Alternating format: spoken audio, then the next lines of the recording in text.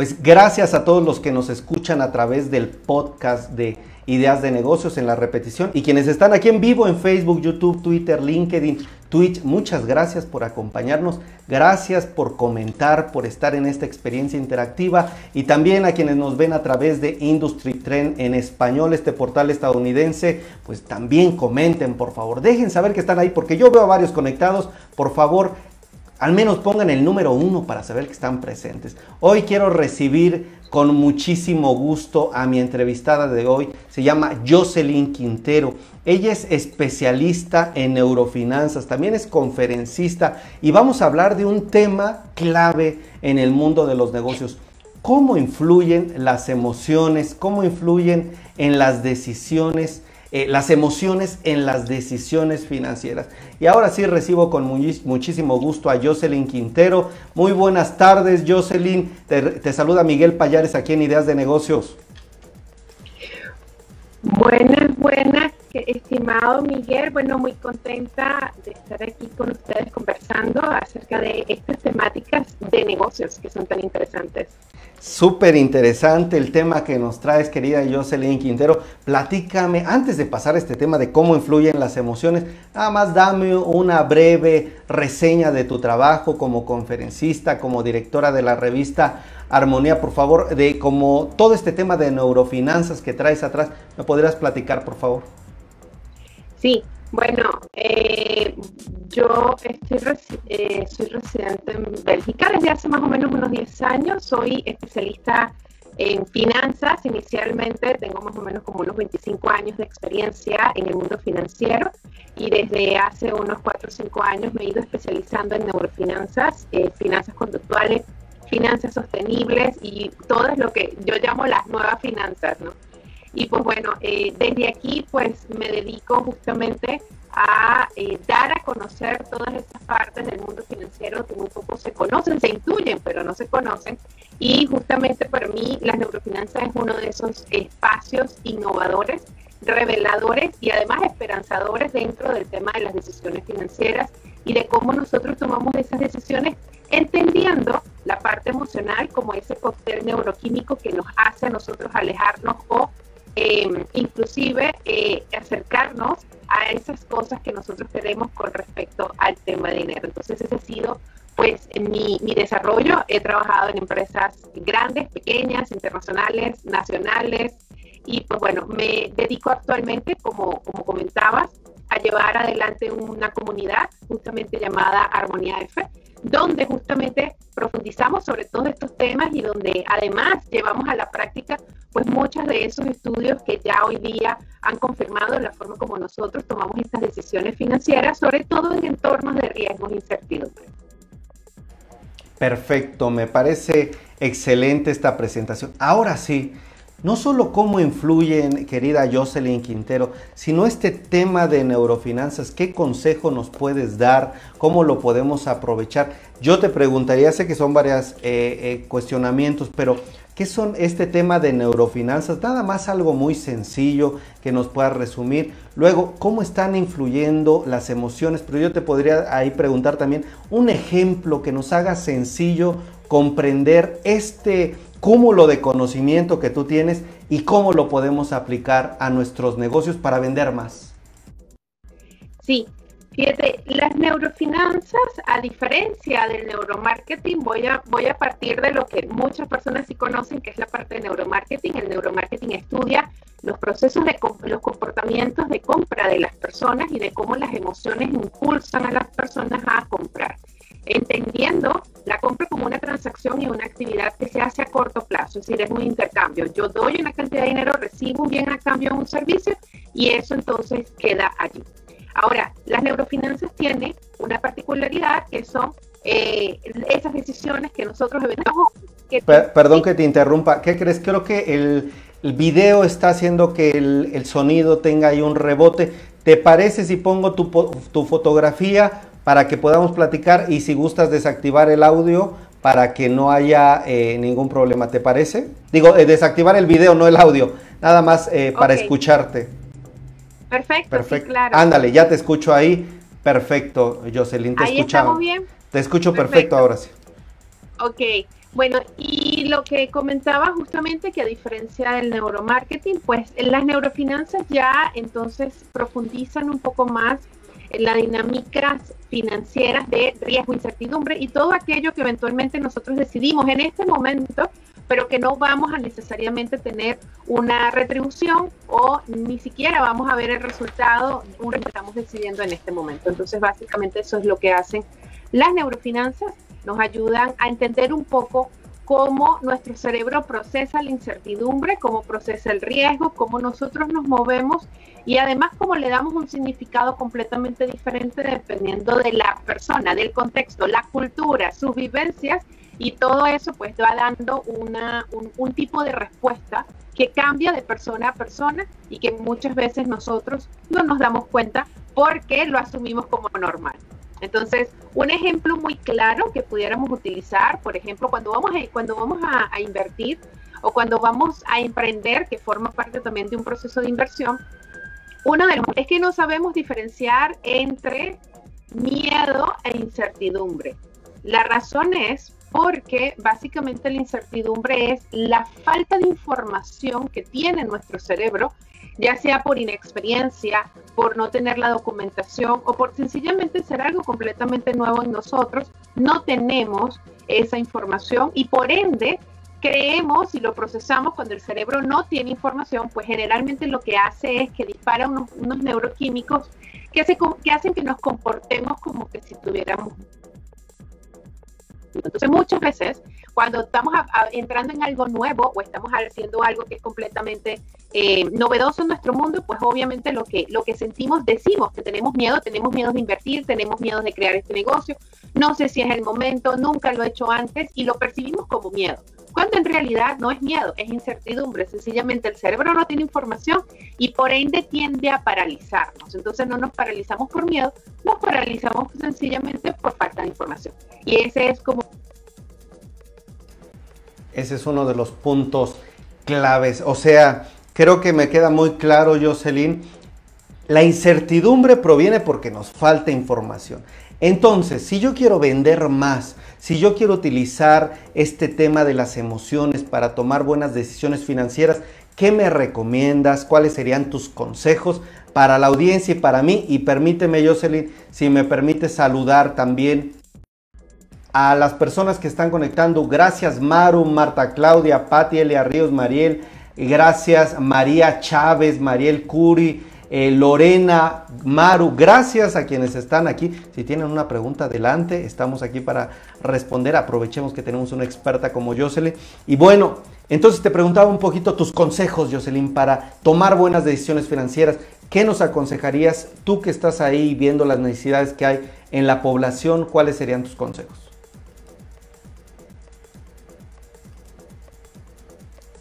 Ah, caray, se ve creo que tuvo ahí un tema de, bueno, bueno, bueno, bueno, Jocelyn. Estamos teniendo, es que esto es en vivo, ustedes comprenderán, amigos. Ya estoy conectado con Jocelyn, tal vez. No sé si me escuchas ahí, Jocelyn. Buenas tardes. Hola, hola. Estamos platicando con Jocelyn Quintero, especialista en neurofinanzas. Y llega a pasar que las conexiones nos juegan una mala pasada. Yo no sé, ¿por qué pasa esto en vivo, verdad? Todo llega a pasar. Creo que se está, está teniendo un temita ahí Jocelyn porque ahí aparece que ya salió y está entrando al tema de la transmisión. Pues nos está platicando mi querida Jocelyn sobre cómo afectan las emociones a las decisiones financieras y parte de lo que yo apunté es el tema de la incertidumbre, si no tenemos información, si no tenemos claridad, pues nos va a dar miedo y entonces no tomamos una decisión, al menos, pues no sé si buena o mala, pero al menos se nos complica esta decisión. Ahora sí, ya creo que eh, la veo de nuevo. Hola, hola Jocelyn, ¿me escuchas? Perfecto, te escucho perfecto. Muy bien estas cosas, estos técnicos. Sí, ¿verdad? Perfecto. Bueno, si gustas, eh, de nuevo desactivamos nada más la cámara para que te escuchemos bien. Jocelyn, y te preguntaba consejos que nos puedas dar. Sí, uno de los consejos principales es, eh, toma, para mí uno de los consejos muy importantes es tomarnos el tiempo adecuado para poder digerir la información que nosotros tenemos al frente y lo que nosotros queremos lograr.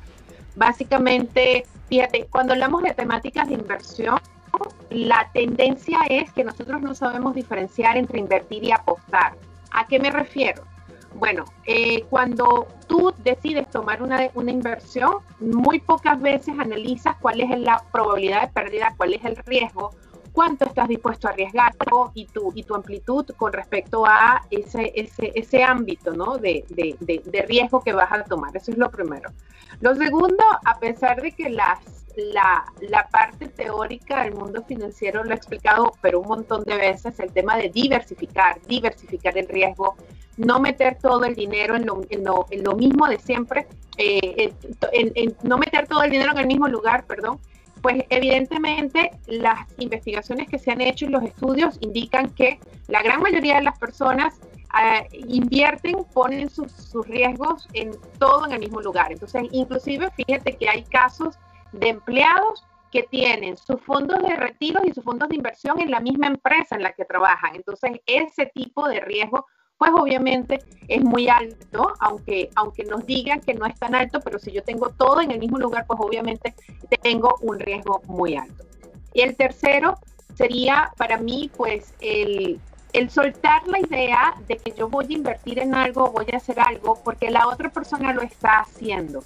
Desarrollar esa capacidad y esa autonomía en las decisiones financieras es fundamental porque muchas veces nos vemos arrastrados no solamente eh, a, inversiones que no tienen nada que ver con nosotros, que no las entendemos, no sabemos de dónde vienen y tampoco sabemos cómo, cómo funciona, sino que peor aún caemos en esquemas inclusive hasta de estafas y después no tenemos la más mínima explicación porque la única explicación que tenemos es, es que mi vecino, mi amigo, mi, mi, mi, compañero de trabajo me dijo que me metiera y yo me metí. Entonces todo ese tipo de cosas están asociadas con el disparo de neuroquímicos en nuestro cerebro que nos lleva a nosotros a tomar decisiones apresuradas, desesperadas e inclusive predeciblemente erradas. Entonces es importante prestarle atención a esos detalles. Oye, qué buen resumen o, qué buena explicación. Me estás dejando pasmado, Jocelyn Quintero, porque, a ver amigos, no sé si ustedes captaron la idea como yo la capté, porque a mí sí me llegó eso que dice, no estás, o estás invirtiendo o estás apostando. No es lo mismo y eso de que nos vamos con una apuesta, pues a ver qué sale, Ay, Diosito, ayúdame porque ahí me voy de filo. No, invertir nos está dando características, Jocelyn, pues muy, muy particulares, interesantes, pensadas, analíticas, que me llaman la atención. No sé si ustedes las recuerden, pero número uno dice hay que estar dispuesto a, bueno, el número dos es diversificar y no, eh, bueno, el primer punto, déjenme decir, yo ya me trabé, ¿verdad? Pero el primer punto es que fue bastante información. El primer punto es analiza cuánto estás dispuesto a invertir, cuánto estás dispuesto a perder, hasta dónde vas a llegar. O sea, velo desde un punto de vista de análisis. Esa es la clave. Segundo, nos dice diversifique. Y para quien dice que es diversificar, es poner en diferentes opciones e instrumentos tu dinero para que si algo le va mal a un instrumento, si le va mal a alguna acción, tú tengas opciones distintas y no te vaya mal, pues porque solo lo tienes en un solo lugar. Y lo último, no inviertas si no sabes, es lo que nos está diciendo en pocas palabras Jocelyn. Luego te estafan y te andas quejando. Creo que grandes consejos. Jocelyn, ¿en qué temas tú te especialistas eh, o en dónde está todavía más tu análisis, qué has visto, en dónde te has, desempeñado este análisis, esta investigación de las neurofinanzas, porque veo que aquí es un tema la inversión y no la apuesta. ¿Qué otros temas también tú has desarrollado?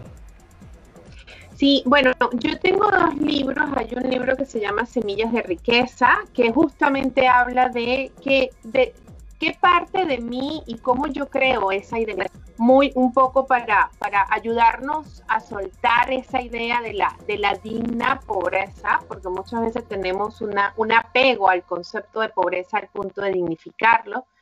Y Lo otro es, eh, el otro libro se llama Armonía Financiera. Armonía Financiera es una metodología que, que desarrollé más o menos en el 2015, un poco antes, donde justamente utilizo o, uno tanto las finanzas conductuales como las finanzas sostenibles, eh, las neurofinanzas y además una rama de las finanzas que muy poco tampoco, que tampoco se conoce mucho, que son las finanzas trascendentales.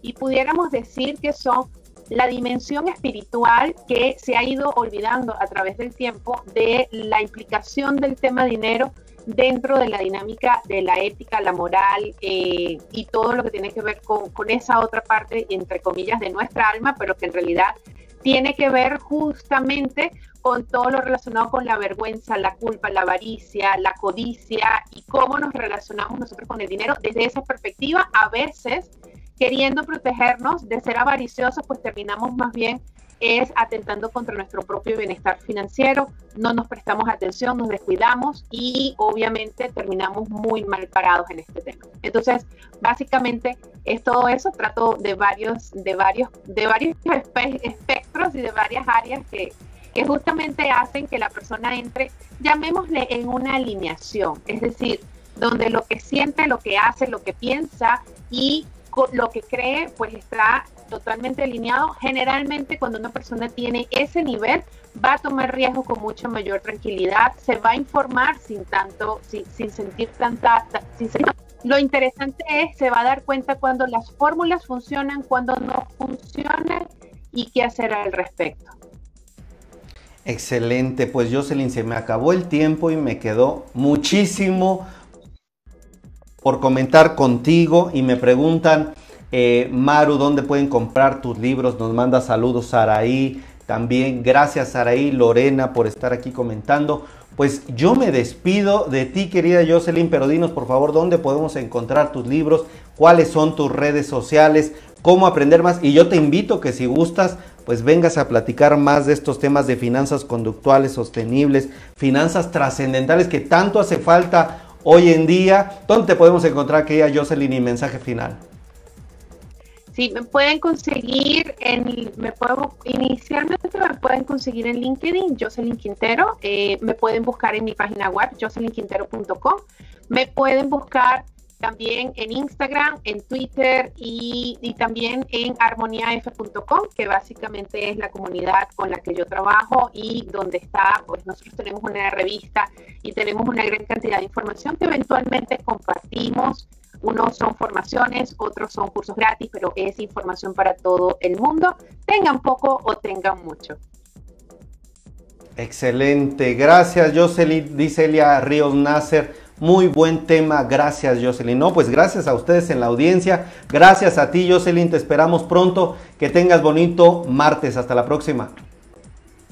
Gracias Miguel. Cuídate.